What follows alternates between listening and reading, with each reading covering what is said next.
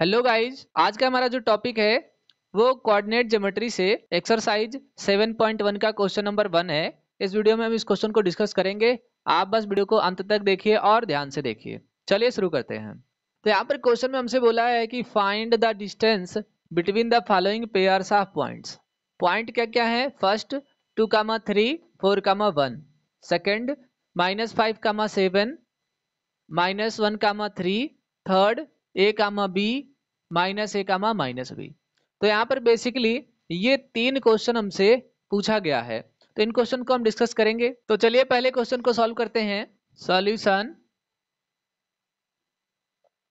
we have points two comma three and four comma one then by using distance formula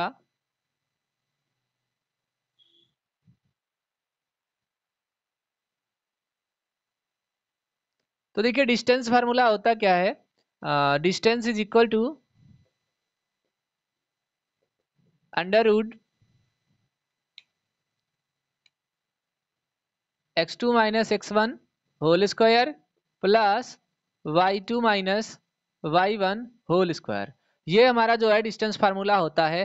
तो यहाँ पर मैं सबसे पहले बता दूँ कि एक्स टू एक्स वन कौन सा है? ये हमारा एक्स वन है, ये हमारा एक्स टू है, ये हमारा वाई वन है और ये हमारा वाई टू है। तो यहाँ पर वैल्यू को सब्सटीट्यूट करते हैं। So square root four minus two whole square plus one minus three whole square तो देखो फोर माइनस टू करेंगे तो हमारे पास टू आ जाएगा टू होल स्क्वायर और वन माइनस थ्री करेंगे तो यहाँ पर हो जाएगा हमारे पास माइनस टू का होल स्क्वायर। अब एक बात आप समझो, जब हम स्क्वायर रूट फाइंड कर रहे होते हैं या स्क्वायर कर रहे होते हैं तो माइनस साइन प्लस में कन्वर्ट हो जाता है।